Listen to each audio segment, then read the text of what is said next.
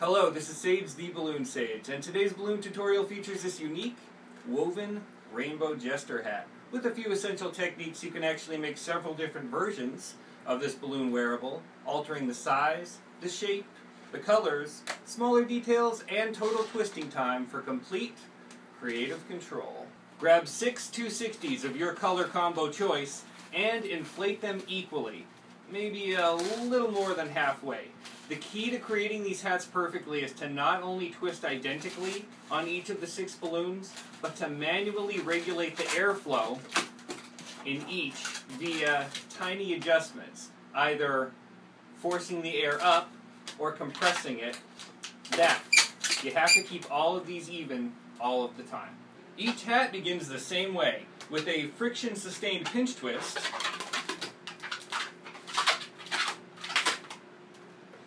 at the end of each balloon, all connected into a hexagonal base. The balloons intersect by repeating the same steps six times. Create a cylinder twist. I'm going to measure out to about like that. And tie the next balloon onto it.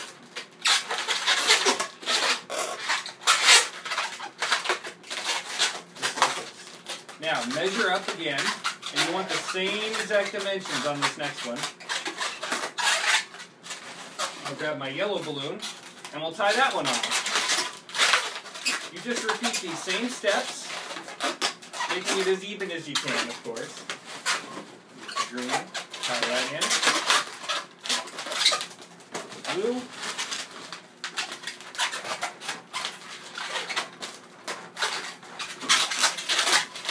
And finally, the sixth balloon. Measure by hand. Think that.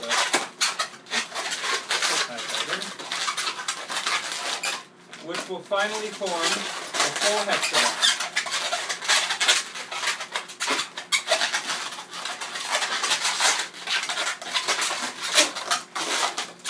Just like that. We will be twisting the classic jester hat variation because it includes all three essential techniques weaving, tail bubbles, and bubble weaving. So I'm going to assume you know how to weave, so we're just going to start out. I'm going to go with the yellow so the pink and purple in the front. Make a small bubble, like so. Small pinch twist. Now, as it goes up, it tapers. You see these uh, cylinder twists get smaller and smaller. So just a little bit off the side, and you'll get that triangle effect. So make a little smaller than this size here. And again, even dimensions is key.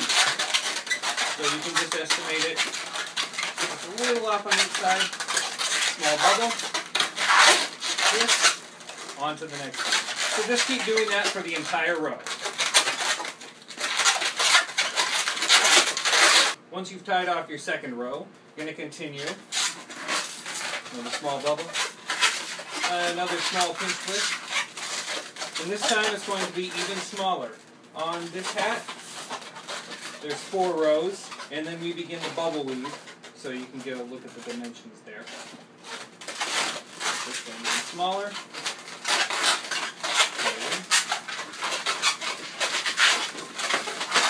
Make sure all of these are even once a row is done. We'll check that right now. Double. Like that. And look at that. You want to make sure, see I'm making it just a little longer so it'll be even all the way around. And continue. Your spine on your hat. Make a small bubble.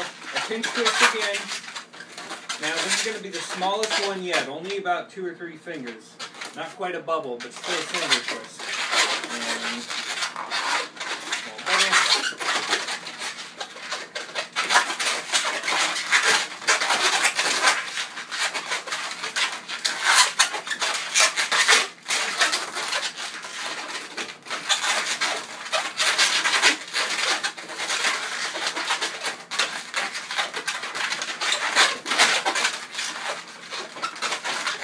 tie it in, and at this point we're going to do the bubble weaving, which is more extensive right here because it's double bubble weaving.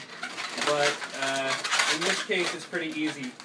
Make sure these are all even or as even as possible before we uh, finish up here. It is hard to get the dimensions correct. I I still have trouble. I've made a bunch of these, but you do the best you can. Okay. So make a large bubble and a small one.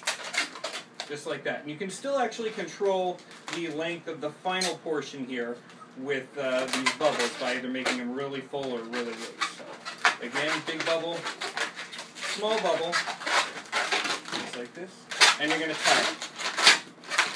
Now you're going to do that with the others. Big bubble, small bubble, big bubble, small bubble, tie.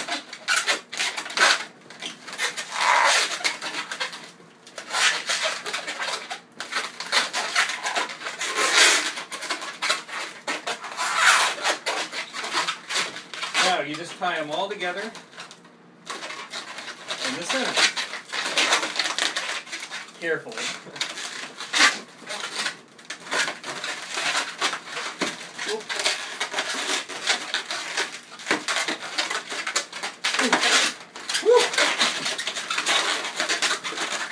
We're just about done. Now you may have one balloon that's a little longer than the others, but that's okay because what you can do is create a stabilization pinch twist for the center. So make a soft one over here, pinch it off carefully, make sure it's in the center, and then just kind of configure the balloons around it, tie them around, knot them up a bit, and put them back in their proper order. Okay, so everything's relatively even. It'll never be perfect. Now, the next step for, at least for this version, we're actually going to push these final remnants of the balloon into these little holes. So I'll show you. So the yellow one, just push it down like that. Between the bubbles. Orange, do the same. Pink, purple. Make sure the bubbles are on top. Blue, green. Okay. It looks almost like a flower. It's best to do it with the yellow, but use whatever one will work at the time. So once they're mashed in there, make sure they're nice and mashed in good. We're going to do the final step, which is to create the tail bubbles. I guess you call them that. So you just grab a bubble, push it to the top.